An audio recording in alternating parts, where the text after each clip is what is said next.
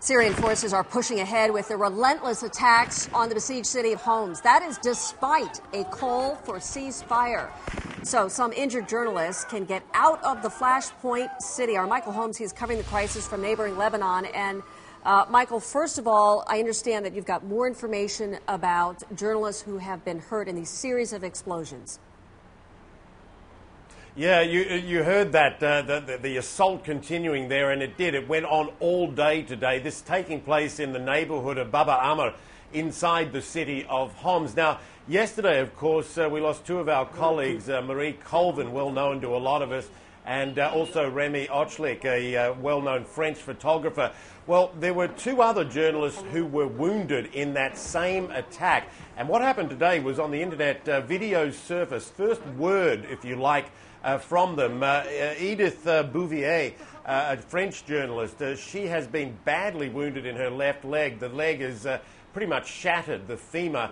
Uh, she's being looked after by activist doctors at the moment, but uh, she says, and the doctor who's with her says, she needs to get out. That leg is in bad shape, and they can't do much more than strap it up and, uh, and try to close the wounds. She does need surgery, she needs it now. On the same video was William Daniels, a photographer, a French photographer we thought was injured. It turns out he's not but he is with Edith. And then a second video surfaced, and that's uh, Paul Conroy. Uh, he's a British photographer for the Sunday Times. He too is wounded in the left thigh. Uh, they seem to be uh, uh, wounds that are of the flesh nature, not bone.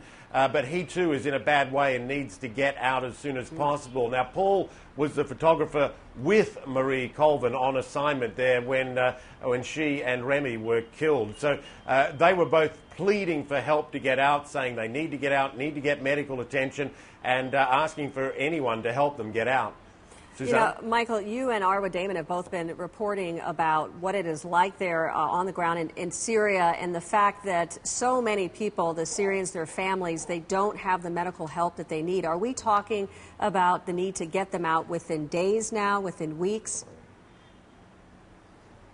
Well, they'd need to be out in days, yeah. There, there, there are cases there of local people uh, who are literally bleeding to death and dying uh, every day because of the simplest of wounds that the medical people there, and we're talking about a doctor, there's a veterinarian, there's a dentist who are trying to patch up these wounds. They just don't have the equipment, they don't have the anesthetics, they don't have the, the, the, the necessary material they need to patch these people up. Uh, looking at Edith and Paul, they seem to be in pretty good spirits, in pretty good shape.